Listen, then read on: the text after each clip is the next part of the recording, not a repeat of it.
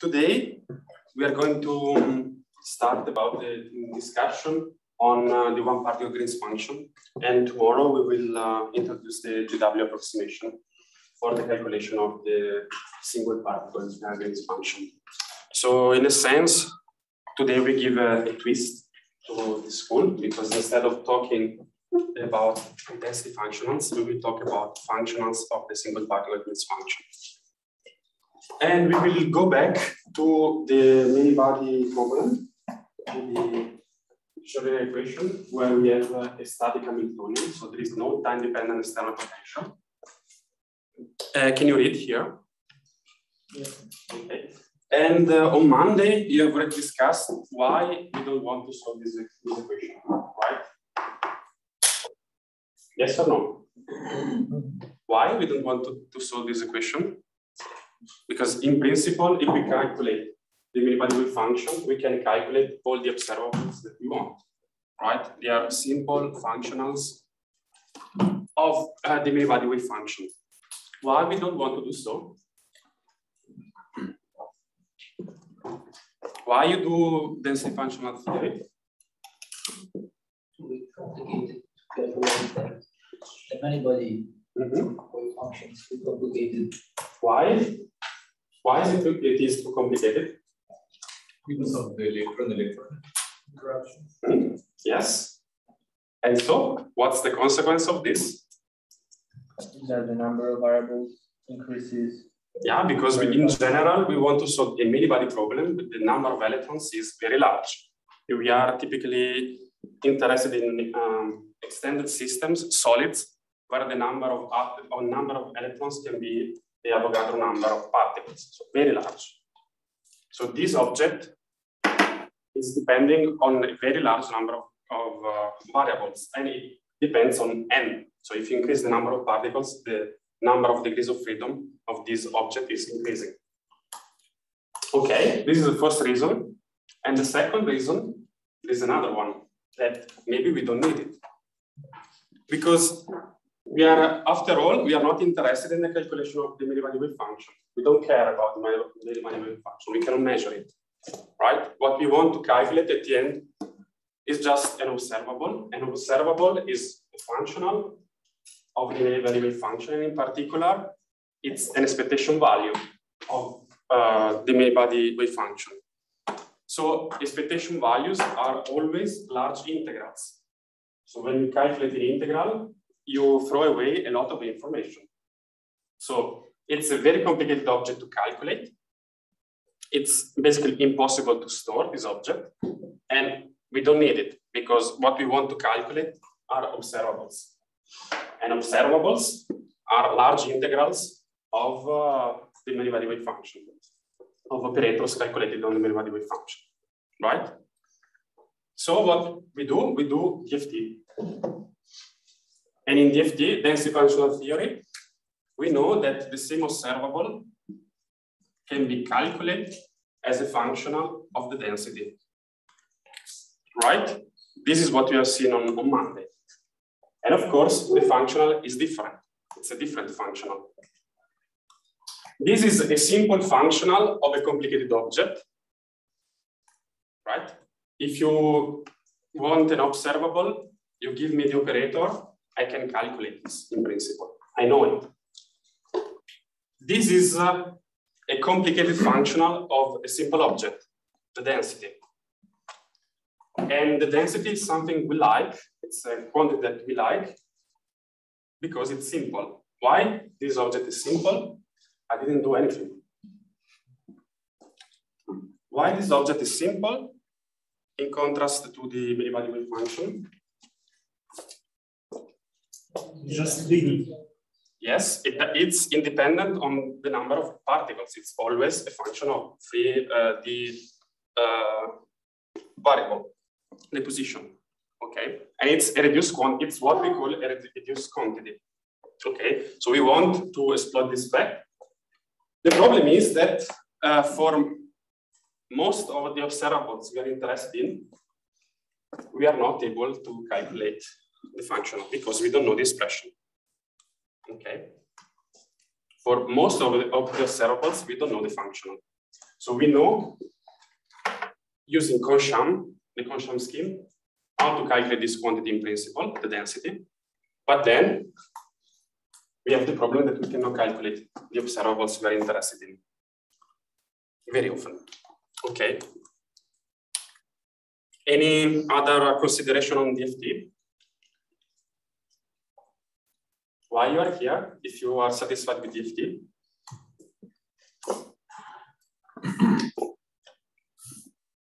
Sorry, can you repeat the question? Yeah, why we like DFT or why we don't like DFT? Other remarks, we're just, works in the ground states. Hmm? You cannot calculate excited properties with. I don't agree.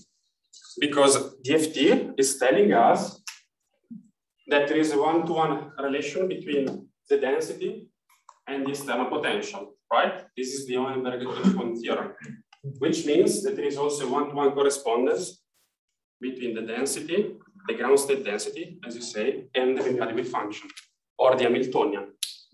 So in principle, even the excited state properties are functionals of the ground state density, in principle. The only limitation is that the Hamiltonian is static. But again, we don't know the functionals. So we are stuck. Any other consideration on DFT? The DFT is limited with uh, accuracy of the uh, uh, exchange correlation function. Yes. This is always the case. We don't have any exact theory for the many-body problem. So we, are, we have always to make approximations.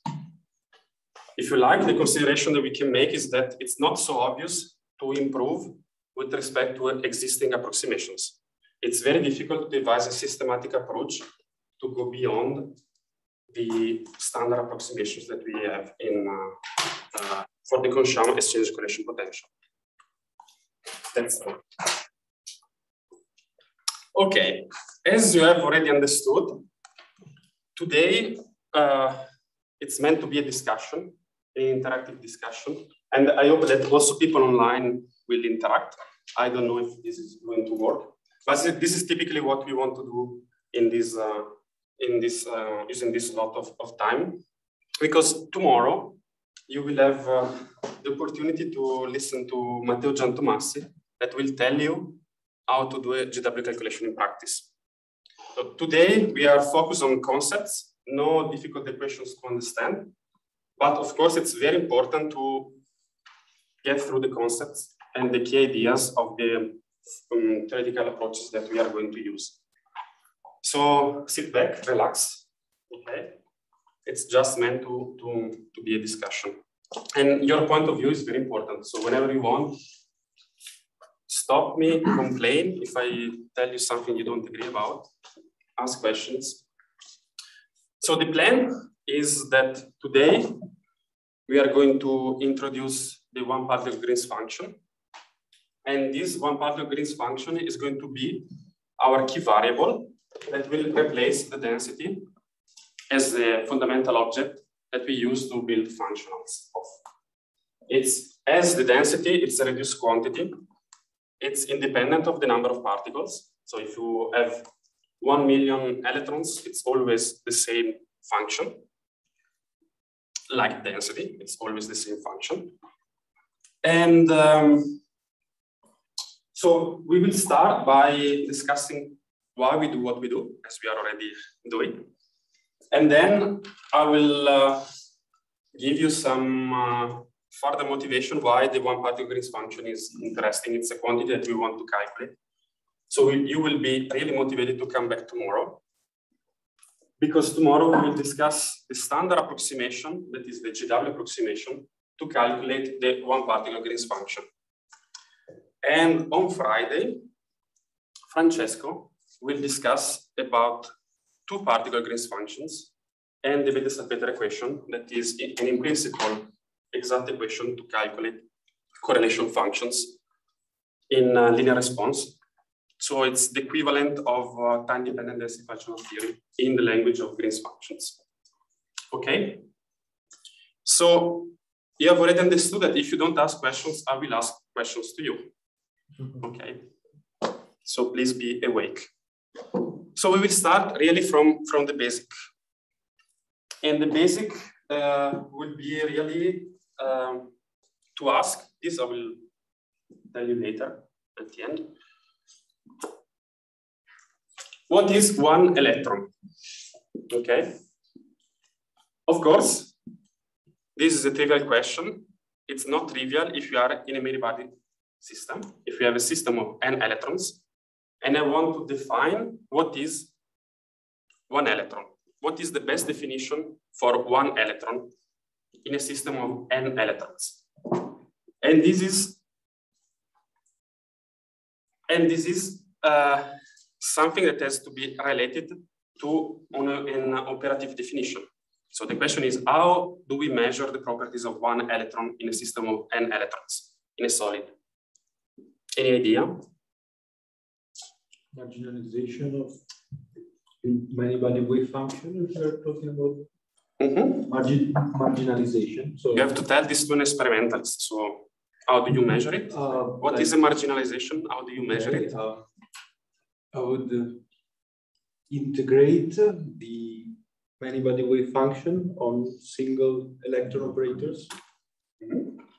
And in practice, how do you rela- re- Integral. realize this integral? integral of the many body wave Yes. I understand this from the mathematical point of view, but in reality, I mean, the many body wave function is an object that we like because it's a solution of uh, the Schrodinger equation. But experimentalists don't see the many body wave function, right? So we are looking for an operative way to measure one electron in a uh, many body electron system.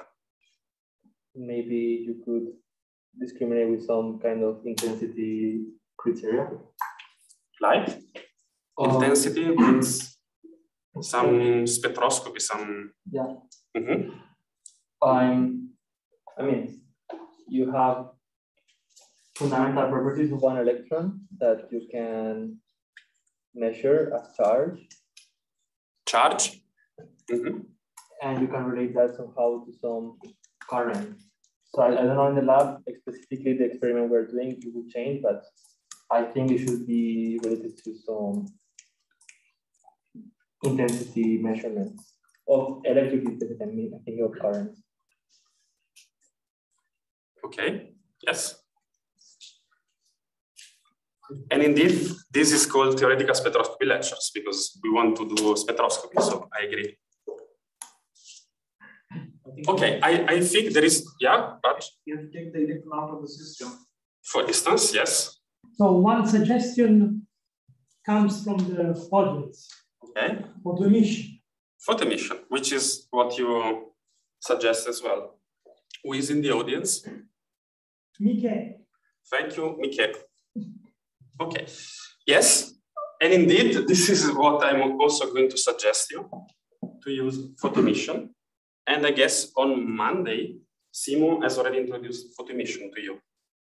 I'm not pretending that this is the only way or the best way to measure one electron properties in a system of many particles, many electrons like a solid. But it's a way, it's an approximate way to measure or to define in the best possible way what is one electron in many electron system. So what is direct photo emission? And I should have the point here. Yes, no. Here. Yeah. But I'm not able to use it, so. In direct photo emission, we can with, with the photon and we use the energy of the photon to uh, emit one electron from the system. And we measure the total energy difference between the system in the ground state with n electrons and the system with n minus one electrons in a state J. And we call this energy difference, total energy difference as the energy EJ. And we associated this energy to the energy of the electron that was uh, inside the system. The same is for inverse photo emission, where we add one electron to, to the system, and we measure the total energy difference between the system in the ground state with n electrons and the system with n plus one electrons in the state J. And we call this uh, energy difference EJ. And uh, in direct photo emission, we measure occupied states. We have to remove one electron from the system. And in inverse photo emission, we measure unoccupied states because we have to uh, fill an empty level. And we call these energies addition and removal energies. One electron additional energies. And this is uh, what we are going to target uh, in this uh, in this discussion, and this is what the GW approximation is meant to reproduce. Okay. You have seen this on, on Monday, right? Yes. Okay. Very good. What about DFT? What is one electron in DFT?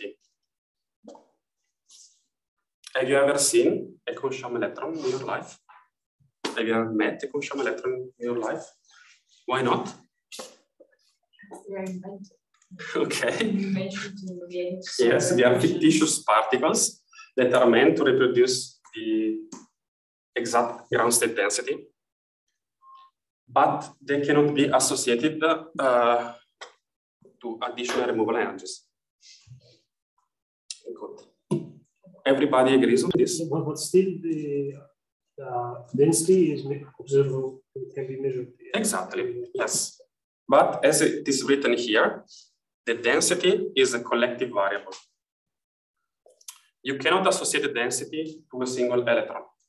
What is the density? Density is the probability to find any of the n electrons inside the system at the position r. So you cannot distinguish still all the electrons. And it's a many body variable indeed. Without Kohn-Sham, the definition of the density is this complicated integral, right? You need to know the many body wave function. And indeed, we introduced Kohn-Sham uh, because it also we want to avoid to use this expression to calculate the density. How many of you are familiar with the second quantization? Yes, have you ever seen second, the second quantization formalism? The others don't understand the second line, right? Who doesn't understand the second line formally? Okay. For all the others, is this is clear. okay, so for those of you that know the second quantization formalism, i have just rewritten the density using field operators, um, creation and annihilation operators. And this is an expectation value with respect to the many-body wave function in the ground state that I call n. Okay, so this n is just, this bra n is just this many-body wave function. Now, um, the good thing about second quantization is that it's very intuitive to understand. Of course, it's a, it's a different language, so we have to learn about the mathematical rules. And if you want to use Green's functions and second quantization in practice, you have to learn this language, this mathematical language. But to follow the discussion today, we don't need it, okay? It's just important to make the connection with the, their uh, physical meaning. And their physical meaning is that this operator, this field operator, is removing one particle at the position r.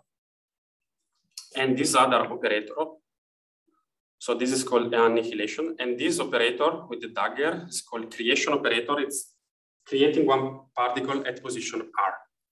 So we are in a formalism where we change the number of particles. Okay.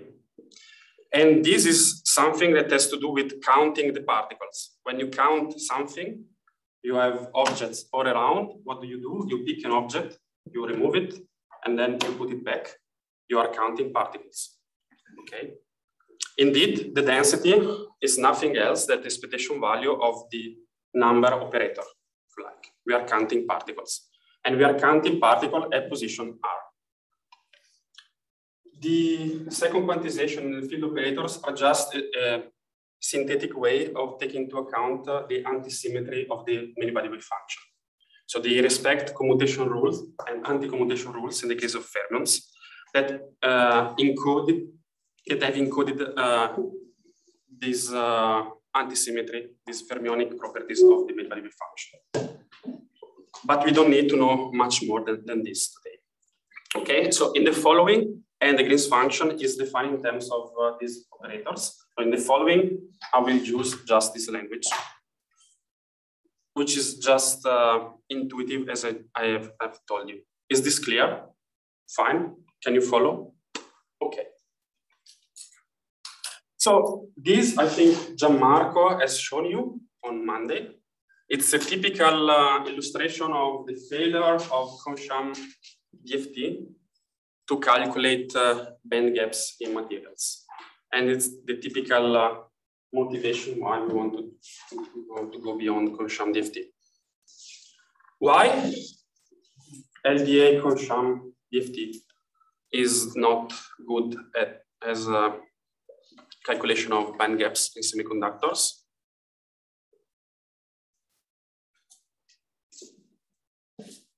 You told me that you have already seen this on Monday, so you know. VXC is local, Mm -hmm. So, so it doesn't work with the band structure. Because we need some you know, local exchange correlation. mm -hmm.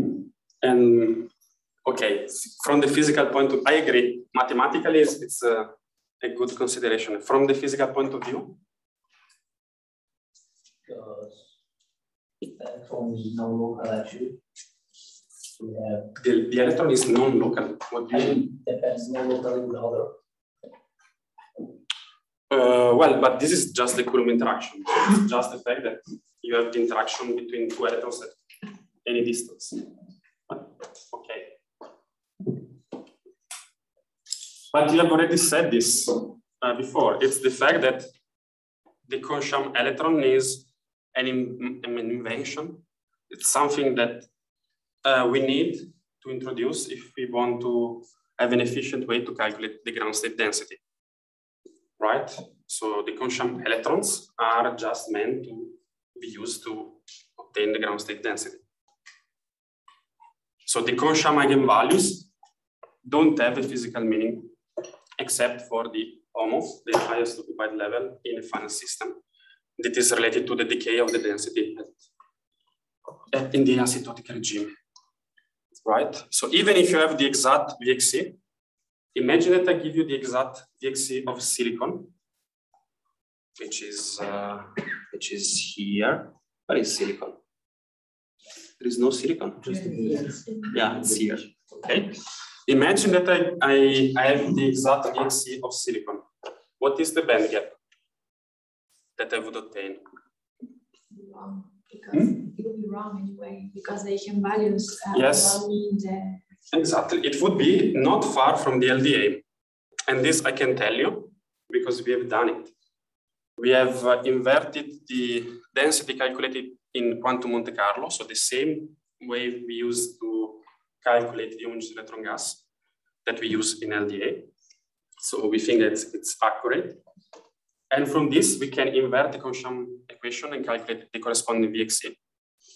We have done so for silicon, and then we can solve the Kohn-Sham equations and calculate the band gap as the Kohn-Sham uh, eigenvalue difference. And it turns out that LDA is not very far from, uh, from this value.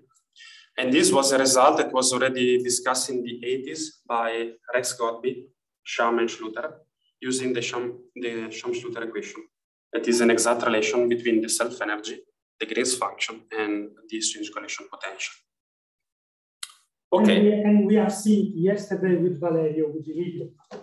Okay, exact. yes, that's true. Valerio has calculated everything basically for uh, helium, right? So that's a, exactly with the 22 decimal. that's a very important benchmark. Yeah, Uh, Yeah.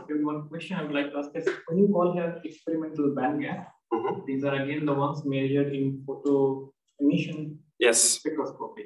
yes. You have to combine direct and inverse photoemission. That's the band gap.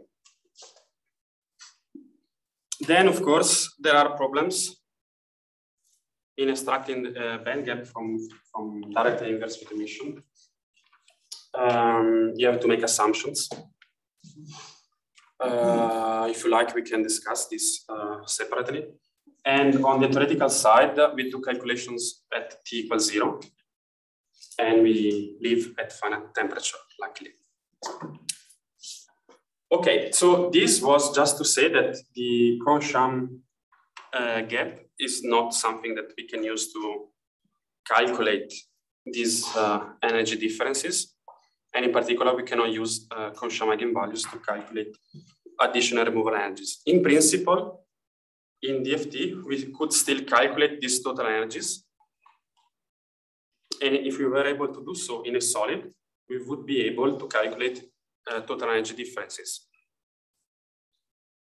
But we don't do this in general. In general, what we do is just we calculate Kohn-Sham eigenvalues and then we plot band structures.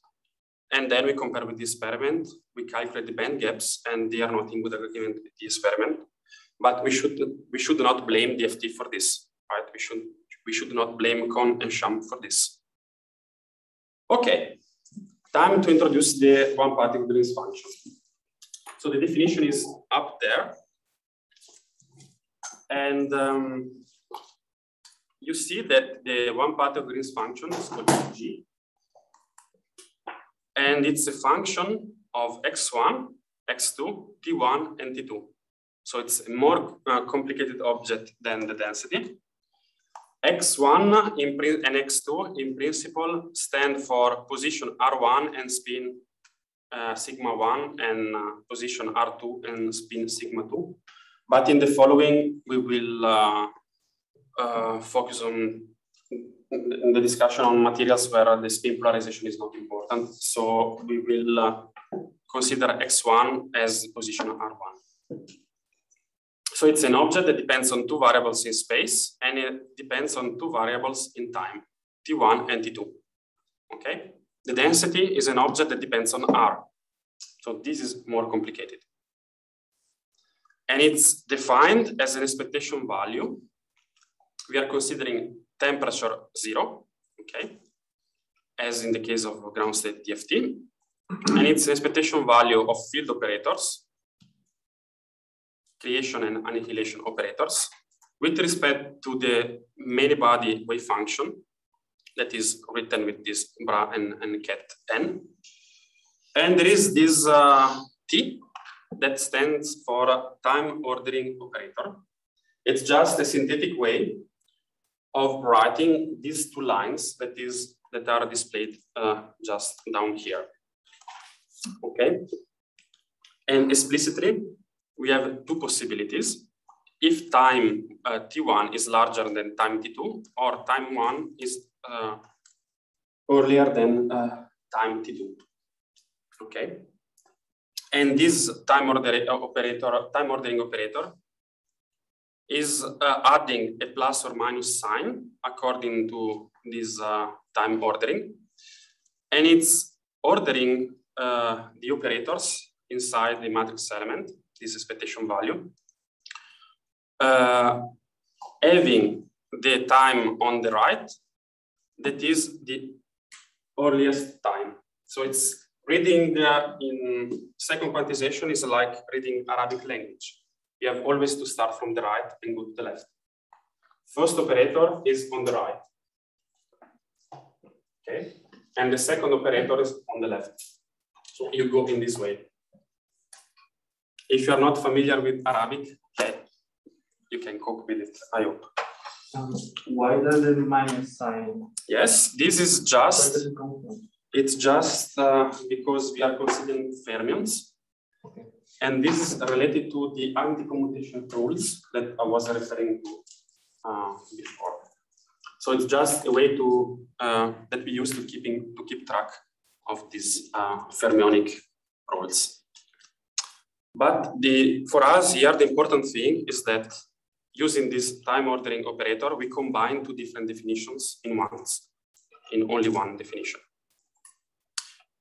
In practice, we have two definitions according to the time, T1 larger than T2 or T1 smaller than T2. Okay? And the difference is the position of the operators.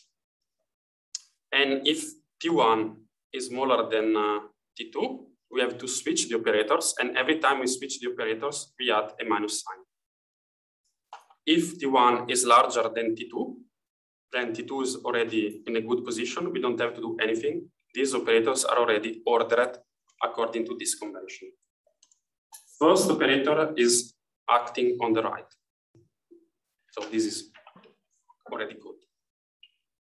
Okay, do you accept this definition? Not yet. Uh, are we working the, the, the, the um, Dirac or Schrodinger picture for these field operators? Okay, these field operators are in the Heisenberg picture, and you see that they depend on time, indeed. Okay. And uh, actually, Again, it's the language of uh, field operators. And um, to, to go into, into the mathematical details, we have to, to use this, this language. uh, second question, if I may. Mhm. Uh, before we were talking about the definition of the gap, and uh, I think that um, in DFT we were focusing on uh, some sort of uh, time-independent theory, Yes. at least for the definition that we had uh, in the previous slide. And I was wondering now if we introduce time in the non-equilibrium approach, uh, we are not focusing on that, right? No, Or no, we are doing some sort of adiabatic consideration for these electrons that are, um, let's say, taken out and then reintroduced into the Mhm. state. So we are uh, in our case, I think Claudio on Friday may discuss about non-equilibrium Green's function theory, where you generalize this definition to non-equilibrium. In so in, in the general uh, case, it would be the Hamiltonian with the time-dependent external potential. In our case today, we are we are stick to, to this uh, time-independent Hamiltonian. So it's a good observation. In this case, we still introduce time, even though in principle there is no need to have a definition of the, the use of time. And why should it be important whether you create and destroy or destroy and create? Thank you for the question. this is the answer. Because depending on the fact that you create or uh, destroy first a particle, you are describing two different situations. Let's start from the situation on the left. With the same result, so Sorry, with the same result. So with the same? uh, two different processes, but with the same results at the end. No, with one. we are describing two different situations. With the same object, the one particle Green's function here, that is explicitly, sorry, defined here with the two, with these two definitions. We are describing two different uh, situations. And the two different situations are illustrated here. Okay, let's start from the process on the left that corresponds to the case T1 larger than T2. So the operators are already ordered correctly here. And we have first a creation uh, operator. So we are creating an electron at position R2 and time T2. That is the first uh, thing that is happening because T2 is smaller than T1. And we are creating this uh, additional electron in this sea. So this is represented, this sea is uh, represented by this uh, pink square of the n electron in the system, in the ground state. And then we remove this electron at position R1 and T1. Uh, R1 is different than T2, than R2, and T1 is later than T2. Okay? So what are we describing here? We are describing a propagation of one additional electron from position R2 and time T2 to position R1 and time T1. Okay. We are taking an expectation value. It means that we are measuring the probability amplitude of observing this uh, propagation of this additional particle in the system. And if you think about this expression, it's just telling us that we are uh, calculating the overlap of the wave function, where we have uh, added one particle, remove one particle with respect to the ground state. So it's a probability amplitude. Similarly, in the second case, if T1 is earlier, earlier than uh, T2, we have to switch the operators here because the first is on the right. So we have this minus sign. And how do we read this? We destroy one electron at position R1 and time T2. So we create one additional pole, one additional positive charge in the system. We let the system evolve in the presence of this additional pole until position R2 and time T2. So on the left, we are describing the, pro the propagation of one additional electron in the system. On the right, we are describing the propagation of one additional hole in the system. And this is reminding us additional removal uh, of uh, electrons in the system. They are measured respect respectively by direct photo emission and inverse photo emission. Actually, by inverse photo emission and direct photo emission. In inverse photo emission, we add one electron to the system of n electrons. In direct photo emission, we remove one electron from the system of n electrons, so we create one additional hole. And the Green's function is indeed, the single particle Green's function is indeed describing this propagation of additional particles in the system. Okay. Of course, to go into the mathematical details, we need a bit more of uh, time and um, we need to use this language of second quantization. But the physical meaning of the one particle Green's function is the propagation of one additional particle, either one electron or one hole, in the system of n electrons that were in the ground state because we are at equilibrium. The generalization to non-equilibrium case would be um, with the time-dependent Hamiltonian or starting from um, a state that is not the ground state, but would be the same meaning. The important consequence of uh, the fact that we are in the ground state is that the Green's function doesn't depend separately on T and T2, on T1 and T2, sorry, but it depends just on the time difference T1 minus T2.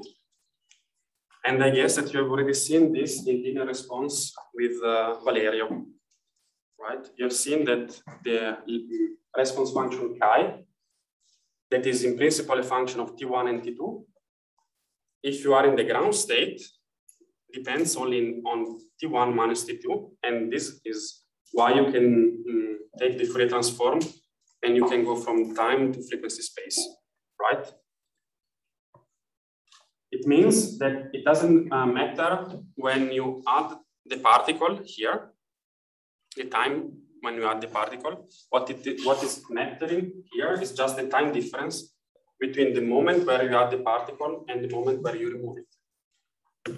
That's the meaning of time in, uh, in this case.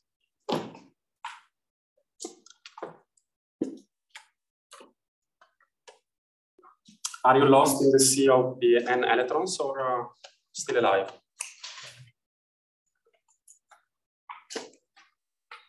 Yes or no?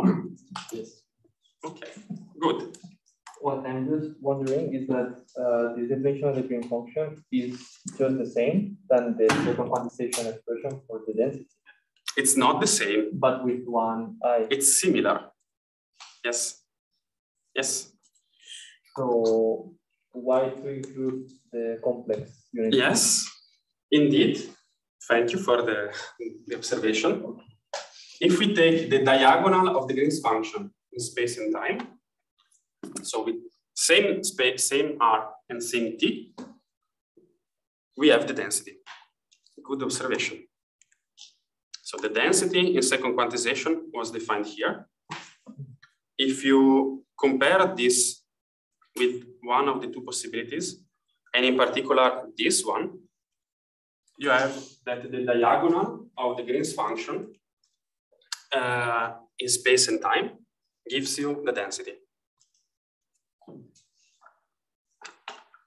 Indeed, why this is the good situation? Because the density is the density of the electrons. So it's the density that is related to the occupied states. And this is the situation we are uh, describing occupied states because we are removing electrons from the system. Which means that we have to take care, since we have to take care of the time ordering of the operators, we have to add a plus sign at this uh, second t, because in this way, we select which of the two situations we are dealing with. Okay, and this is the situation we are dealing with in the case of the density. Okay, so the density is the diagonal in space and time of the uh, Green's functions, of the single party Green's function. And in the case of the time independent Hamiltonian, this is this density is of course independent of time.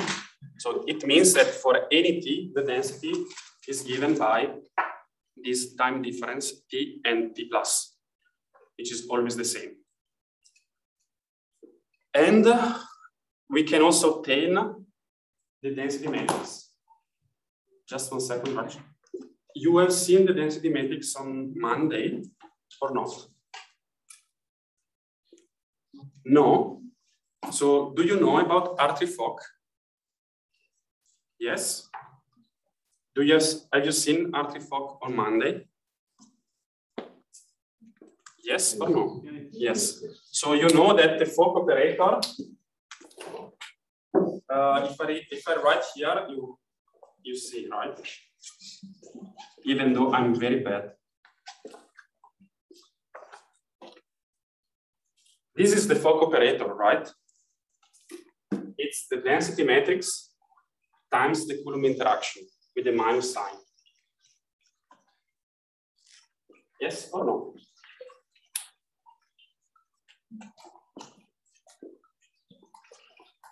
Yes or no? Yes? No? Yeah? It's just that on Mondays, say, uh, it has been presented more on the quantum chemistry point of view, warehouse orbitals, where we can basically okay. like the, So the density matrix in um, Hartree-Fock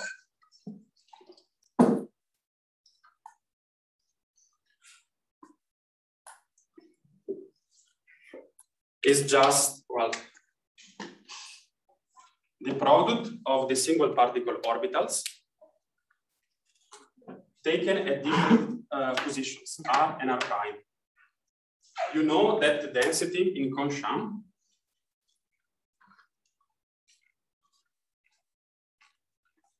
is just the sum of the square of the orbitals, right? Of the absolute value square of the orbitals. So you see that the diagonal of the density matrix is the density. Correct. This is uh, valid only if uh, the minimal function is a Slater determinant, like this, the, the Kohn-Sham Slater determinant for density, and the Hartree Slater determinant for the density matrix in Hartree In general, if you go beyond Hartree the density matrix uh, is different and uh, you have some uh, complication that is related to correlation that I will not discuss here. But it's just another useful reduced variable that we can use to build functionals of in the framework of reduced density, um, reduced density matrix functional theory. Here, I just I just want to illustrate the fact that if you take the diagonal in time of the Green's function, and you consider the off-diagonal elements in space, you get density matrix, which means that you can also express Hartree-Fock in the framework of Green's function theory. And by using this relation, you can make the connection between Green's function theory and DFT, because both Green's functions and DFT give you, in principle, the exact density. Okay? So this is telling us that with the Green's function, that is a more complicated object than the density, you can at least recover the density and everything that you have already discussed in DFT. But you can have something more because you can have the one particle excitation spectra, which is the main motivation why we want to introduce Green's functions. We are interested in the one particle excitation spectra, in particular, those that are measured by photoemission experiments. And in the case of DFT, we don't know the functional that is uh, telling us how to calculate the one particle excitation spectra starting from the density, right? We don't know the function. In principle, there exists a functions that is telling me that if you uh, give me the, the density, I can tell you the one particle excitation spectra, but in practice, we don't know it, okay? Instead, in the framework of Green's function theory, we can immediately uh, calculate one particle excitation spectra if we know the Green's function, the single particle Green's function. Okay? This is also important, but it's uh, not much used.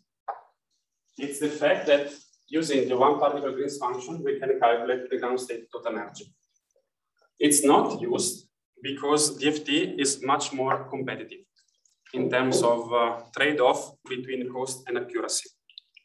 Okay, it means that uh, if you have a good approximation for the Green's function, you can calculate the ground state energy, but the cost to do so is much higher than uh, what you would have to pay in the case of DFT. And the improvement in terms of accuracy is not so spectacular for the approximations that we have. Okay, so from just a pragmatic point of view, this is why for most of the applications, we use Green's functions to calculate excitation spectra, one particle excitation spectra. We don't use Green's functions to calculate the density because we use DFT. And we don't use uh, Green's functions to calculate the total energy because we use DFT. But in principle, we could. Okay. Are you motivated to calculate the single particle Green's function or not yet? yes. Okay. But I hope you want to stay still for another half an hour or so. So there is more. So here I will uh, I will be pretty fast. This is just uh, the illustration. It's the result that one should demonstrate which is that uh, from the one particle Green's function, we can obtain the single particle excitation spectrum. Okay. So this is the definition of the single particle Green's function.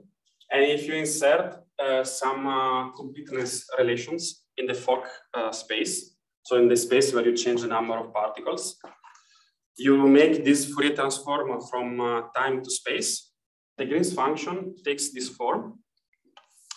At the numerator, you have uh, the so-called Lehmann amplitudes that are uh, expectation values, expectation uh, yeah, values of the field operators with respect to wave functions where we have uh, changed the number of particles. And most importantly, at the denominator, you have addition and removal energies those that are measured by photoemission. And you see that in this uh, time ordered formalism, um, you have a, a um, sign of this uh, I eta that is uh, changing according to um, uh, the fact that you are considering occupied or empty states. So if you are above or below the Fermi energy. And I guess that you are already familiar with this eta uh, variable. So it's all this is uh, expressed for eta going to zero plus because we have already see this seen this with Valerio in TDDFT, right? Yes. Okay. So this is telling us, this expression is telling us that the single particle Green's function has poles at the additional removal energies. So if you are able to calculate the poles of the Green's function, we obtain the additional removal energies. So we obtain band structures, band gaps, and more. Sorry, Raj, I forgot that you had the question something like 10 minutes ago. In this slide, this SGN is sign function. Is SGN is the sign hmm? function, yeah. Okay. So again, the poles of the single particle in this function are the addition and removal energies that are measured by emission. Okay. Often it's not so convenient to look for a pulse of a function. It's more convenient to look at peaks of a function. That's why we do spectroscopy. That's the motivation why we introduce the spectral function that is defined as the imaginary part of a Green's function with the uh, absolute value because uh, the imaginary part of the Green's function is changing sign at the uh, Fermi energy in the case of time ordered formalism. Okay, and if you look at this expression here, the imaginary part of this is just written here. Okay. How do we understand this? Well, typically we take matrix elements of this function. It is still a non-local object in space and spin, if you want, in a single particle basis. Okay, this way. And uh, it means that the spectral function is given by a sum of delta functions that are located at the additional removal energies with some weight. And this weight is given by these uh, matrix elements of these Lehmann amplitudes in this uh, single particle basis. Okay, this is the expression that we have. So in particular, in the case that we are in a non-interacting system, the many-body wave function is the Slater determinant. The Lehmann amplitudes correspond to the eigenfunction of the single particle Hamiltonian. And everything reduced down to the fact that the diagonal element of the spectral function is just a delta peak at the one particle energy that is corresponding to the single uh, particle level that we are uh, describing. Okay, so in case it's we have a non-interacting system, the spectral function is just one delta peak at a position that is the uh, energy that the electron is occupying or the empty level, depending whether we are considering occupied and empty states. In the general case, it's a sum of many different contributions. Like it is uh, represented here, okay? So this is the spectral function, and this spectral function is just a sum of different uh, components. And these are weighting, uh, they are given the intensity at the different energies. And uh, the spectral function has a shape like this. It's maybe centered uh, around one uh, prominent energy, and then it has a distribution. And this is reflecting the many particle character of our system. So in this way, we find the best possible definition of one electron in the system because we can associate this peak to one electron. But you see that it's a many body concept because it's formed by many different contributions around one one prominent peak. Here we are displaying the spectral function for the level i, and you see that it has the sum of different contributions, even though it has a main peak. And we will call this the quasi-particle peak. And in this way, we can associate uh, these to uh, a renormalized electron in a many-body uh, framework. In case, in case we are in the continuum, in a solid. Mathematically, we have to make the analytical continuation, go to the second Riemann sheet. Okay, it's very complicated, but uh, you can do it. And uh, just, uh, it's very simple from the, the conceptual point of view. We are just adding many, many, many contributions. And at the end, you can trace a continuous line and you have a curve instead of many, a sum of many contributions, as it was before. And then you can associate this uh, shape to an energy that is called here omega zero. And you can associate the width of this curve to uh, an imaginary part. So you can associate this also to a lifetime because you know that the width of an excitation is related to the inverse of a lifetime of the excitation. This is a general concept of uh, quantum mechanics. So the difference between this case, that is what was written here, and this is just the fact that we go to the continuum and we have many, many uh, excitation, an infinite number of excitations, and they sum up to form a continuum. Yes? Um, you said that we can associate the mean peak to one electron in the meaning uh, as if we were doing a inverse transmission. Yes, or direct photo emission, yeah. Why? Because what we do here, we take, in principle, we have this object, okay? And then we take a matrix element in a single particle basis. So here we, we come with the idea that we are in a single particle picture where the electrons are non-interacting. And if the electrons are non-interacting, then uh, this uh, is just a delta peak, okay? In reality, this, this, the same matrix element is not only one single contribution, it has many contributions, but still we can associate this with one single excitations, but in the many-body framework.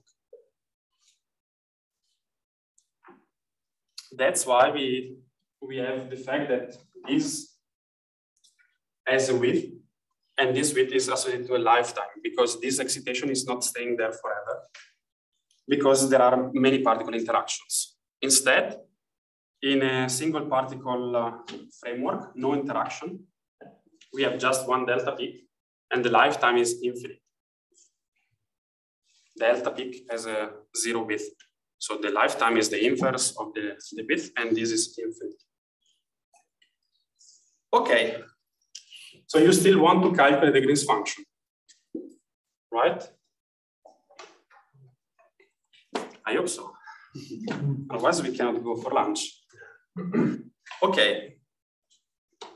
The problem is that in the definition, we still have the interacting ground state, the many-body wave function. And we said that we don't want to calculate the solution of this Hamiltonian, right? The same problem we have in uh, DFT. We can calculate the density if we know the many-body wave function, but actually we want to calculate the density without knowing the many-body wave function. And here we have the same problem. In the definition that I, I've given you, we have to take an expectation value with respect to the many-body wave function. But if I am able to calculate the many-body wave function, I don't care about the Green's function. I have already all the, the information, right? So how do we do? So if you read uh, the standard textbook, textbooks for uh, Green's function theory and many-body perturbation theory, what you find is that you can use theorems to uh, write a perturbative expansion of the Green's function in terms of the non-interacting Green's function, and you can write you can write down the perturbative series in terms of the Coulomb interaction. And uh, at the end, what you obtain are Feynman diagrams. Okay, the Feynman diagrams are just a representation of perturbation theory in the Coulomb interaction because you want to express the Green's function in terms of the non-interacting Green's function because you don't know the wave function. Okay, this is the standard way that uh, historically was used to present the calculation of the single particle Green's function. And I'm telling you so because we are not going to do that. And uh, the idea is that if you don't know a quantity, if you're not able to calculate directly a quantity, the quantity of your interest, the alternative is that you can think that you can calculate this quantity as a solution of an equation. So you have to derive an equation for which the quantity you want to calculate is the solution. Okay, this is the usual trick that we do in physics. And a possibility is that you can derive what is called the equation of motion for the Green's function, where you calculate the time derivative of the Green's function with respect to the time. So it's a differential equation, and you have to impose some boundary conditions. And you see that uh, in this uh, equation of motion, you have this time derivative. You have the single particle part of the Hamiltonian. So you have the kinetic uh, operator and the external potential. Then you have a delta uh, term plus a correction that originates from the Coulomb interaction. V is the Coulomb interaction. And uh, G2 is the two-particle Green's function. Here, I have introduced a shorthand notation. And one stands for R1, T1, sigma 1 if we have spin, and 2 stands for R2, T2, and sigma 2. Otherwise, the equations are just too long, okay?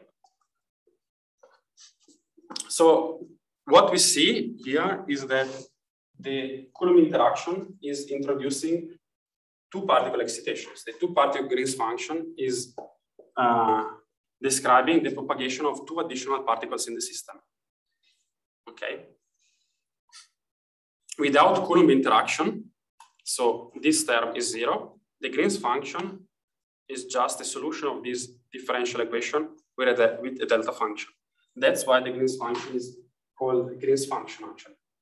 It's the resolvent of a differential equation. And uh, I guess that you have seen already uh, Green's functions in the framework of differential equations. Okay.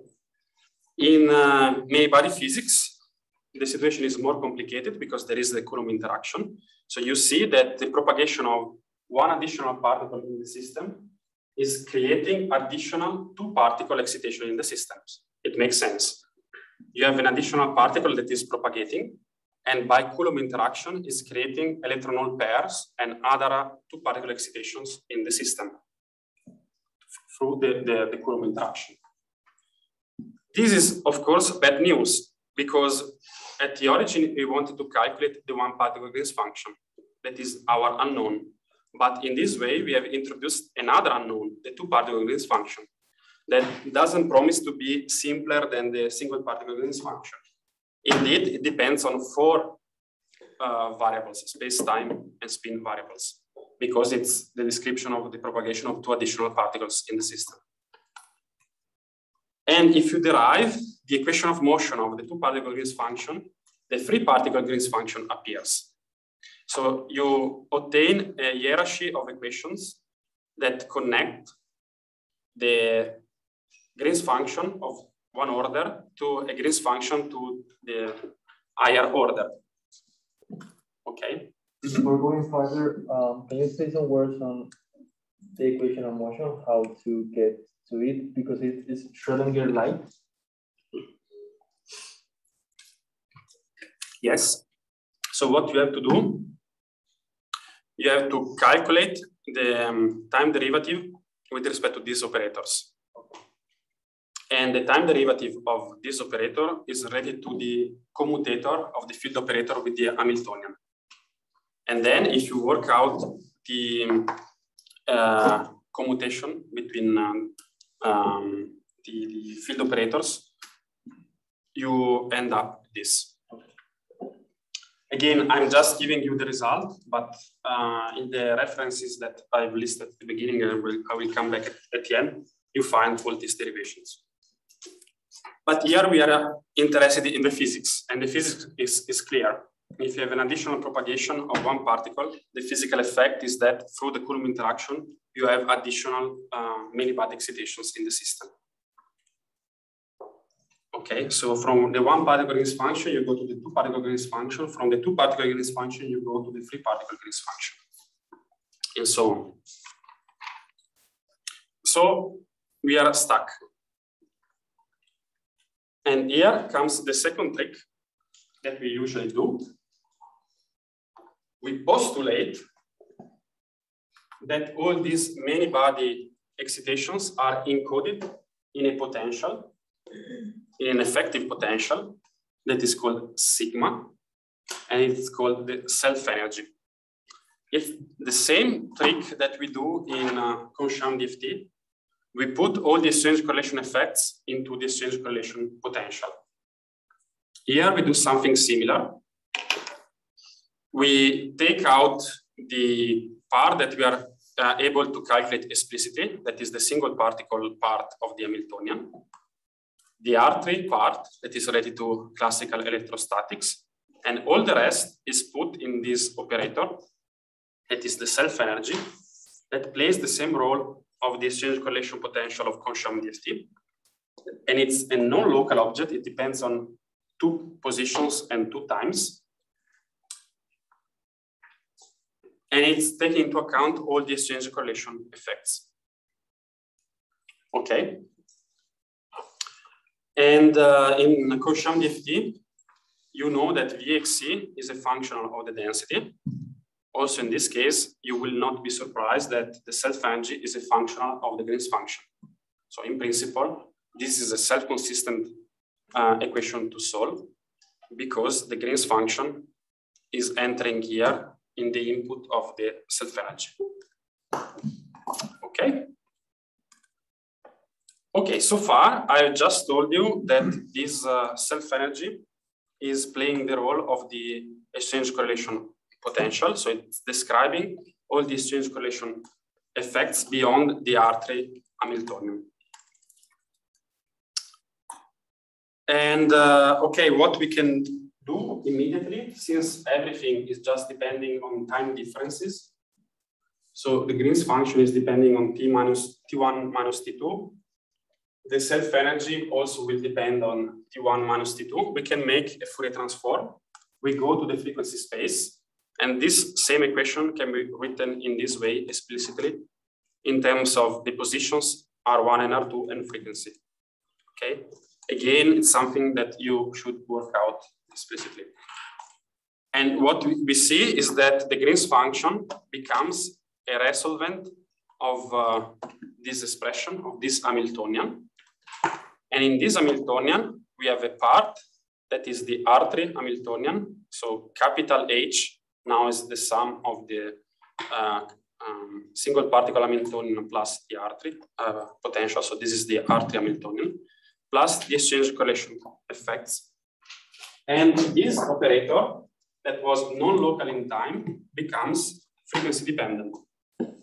So it's dynamical. It depends on the energy, on the frequency. And uh, you should be a bit puzzled about this, because the Hamiltonian is completely static, our starting Hamiltonian.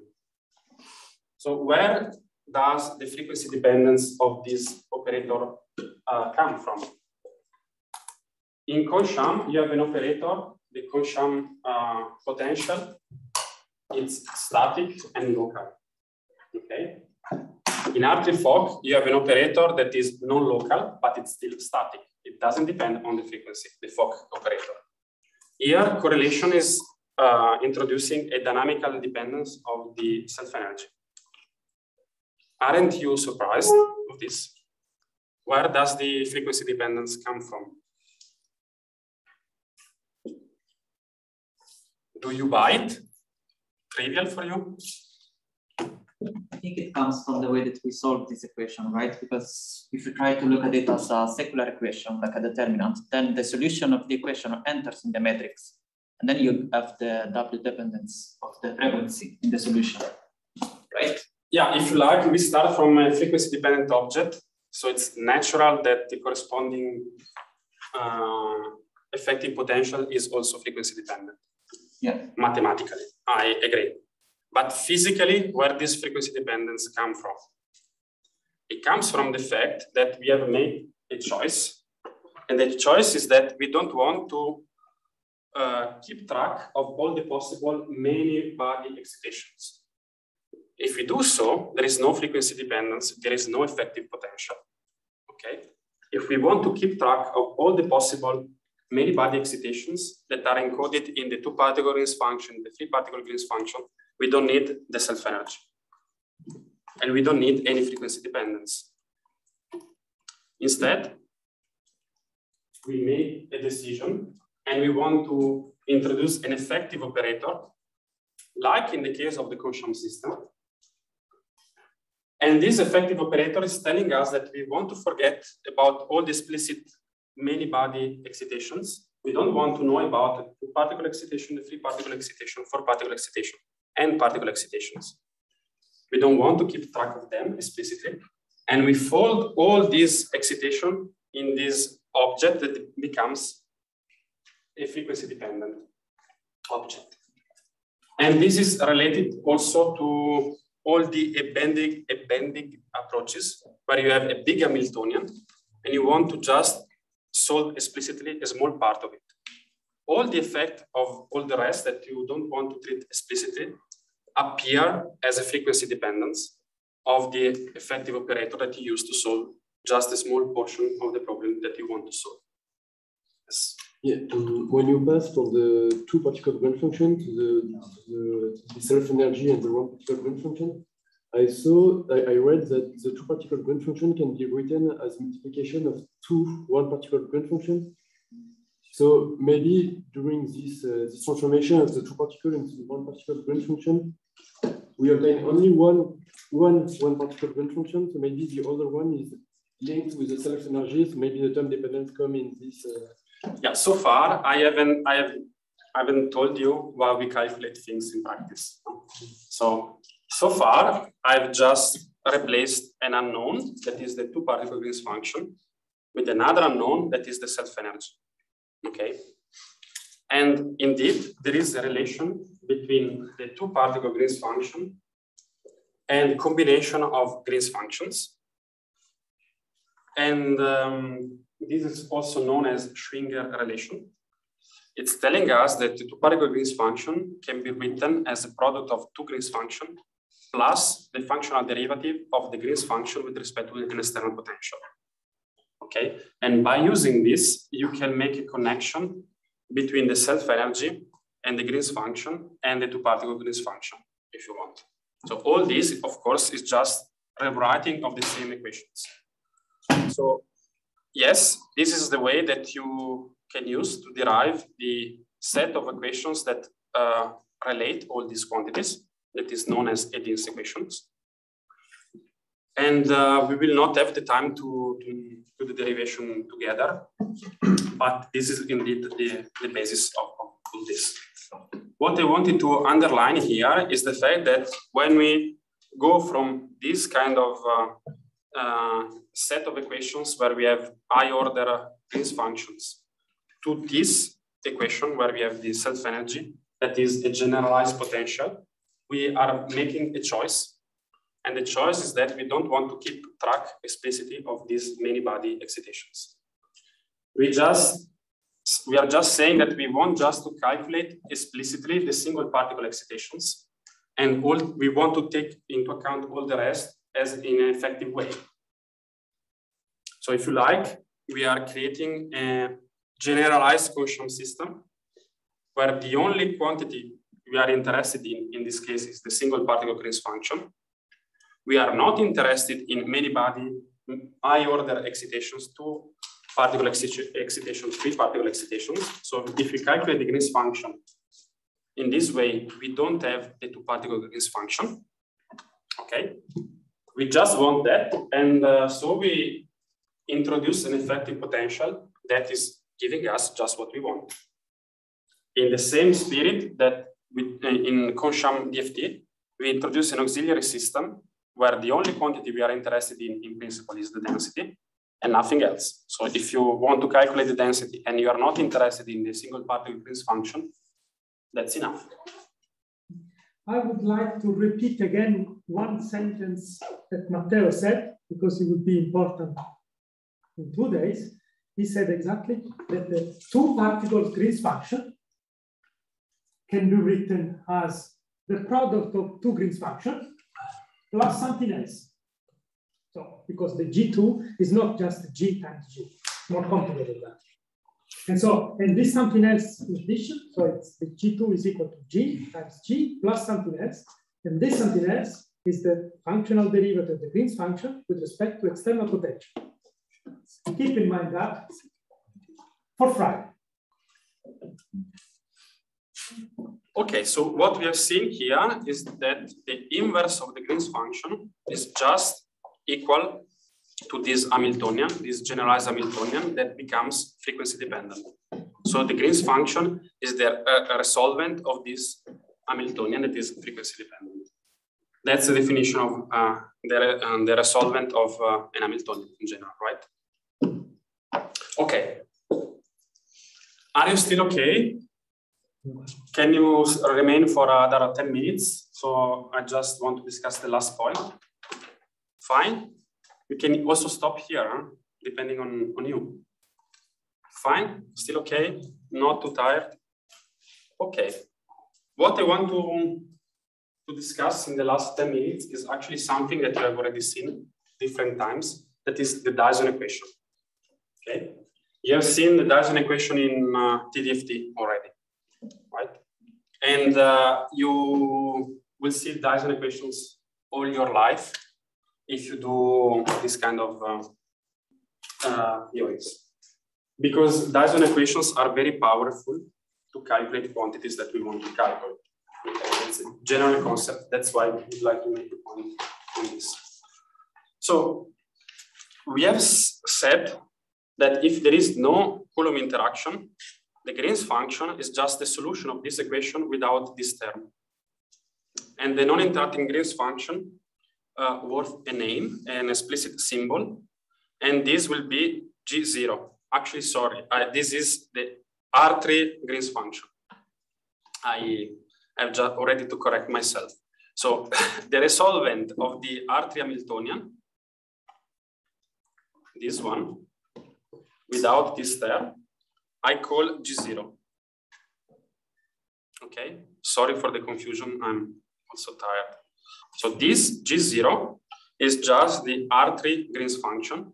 That is the solution of this equation where self-energy is equal to zero. It's the resolvent of this Hamiltonian where the self-energy is zero.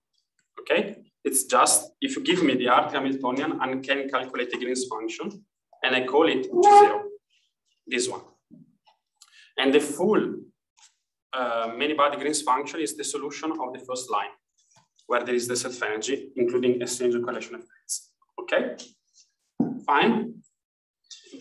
Then it's possible to demonstrate that the combination of these two equations is just this Dyson equation. Okay, again, I don't do it now, but it's a good exercise uh, to do.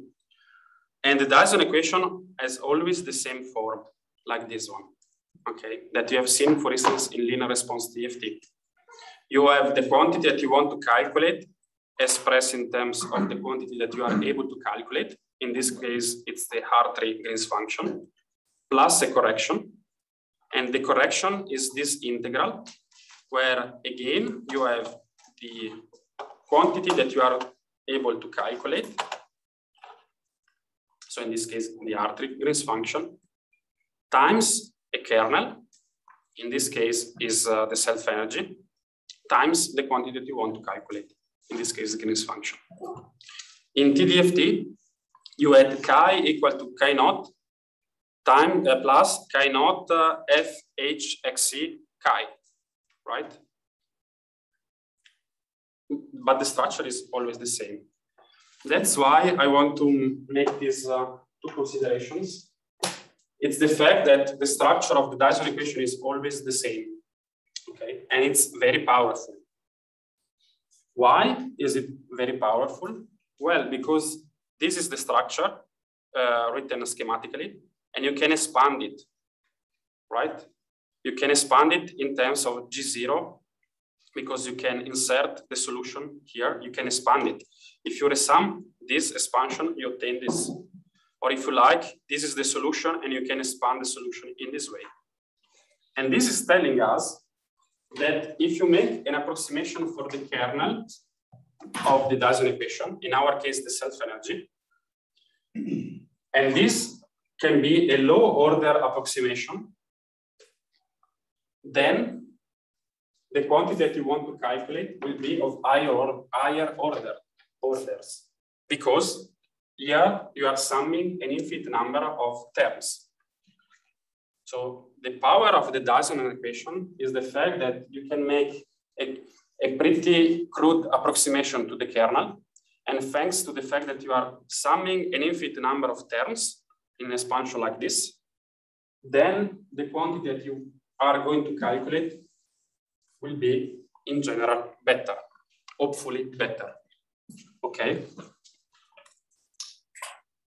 You see that if you stop the expansion here and you, make an approximation to the kernel, you don't gain anything, right? It's the same order.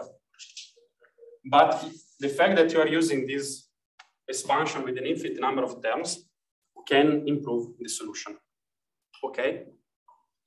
The same trick we do in the case of TDDFT. We approximate the kernel to calculate the density, the density, the, the density response, right? Chi. Again, here we want to calculate the Green's function, but we are not calculating explicitly the Green's function. We are not approximating explicitly the Green's function. We are approximating the kernel of the Dyson equation to calculate the Green's function. And this turns out to be much more powerful. So the GW approximation is an approximation for the self-energy in order to calculate the Green's function. As, I don't know, the ALDA is an approximation for FXC to calculate chi. Same. Second property is the fact that you can split the kernel of a Dyson equation in two parts. This already you have seen in the case of TDDFT, where you split the kernel of the Dyson equation into the Hartree part and the exchange correlation part. The Hartree part is just the Coulomb interaction, and the exchange correlation part is the exchange correlation kernel. Okay. And again, we, we can do the same in the case of uh, Green's function theory, and we can split the uh, self-energy into two different parts. Typically, we split the self-energy into exchange and correlation the exchange part of the self-energy is nothing else than the Fock operator that you have seen in Hartree Fock. And correlation will be correction to, to this. Why we do so? It's because typically we are able to calculate some parts uh, better than others.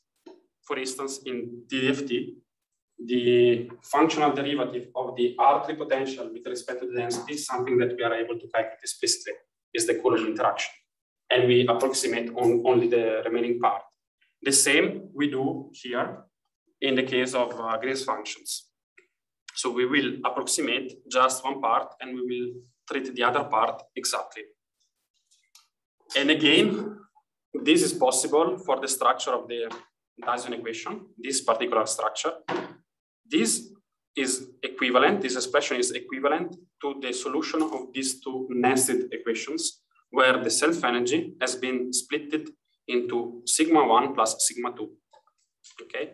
Again, these two properties are just a consequence of the structure of the Dyson equation. So whenever you recognize this structure, you can be sure that this equation has these properties that are in general something that we exploit.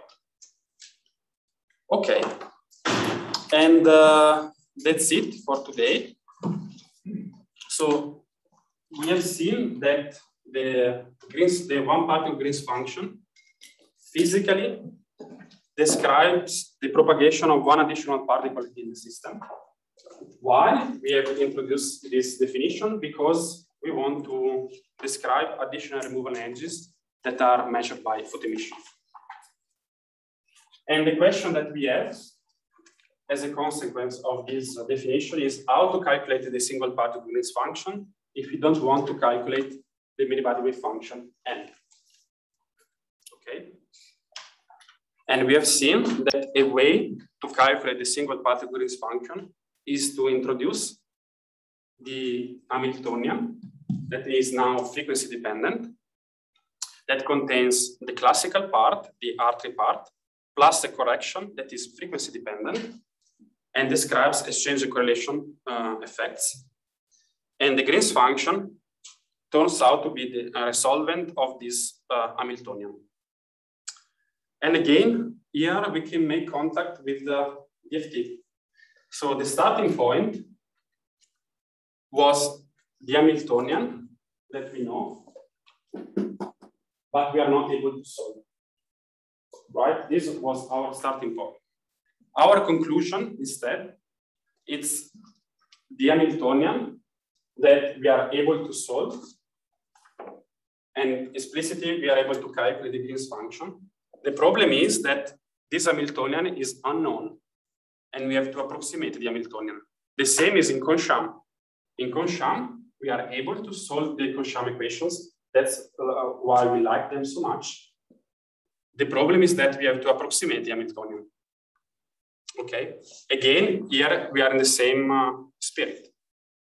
We decide that we don't like this Hamiltonian that is known because we are not able to solve it.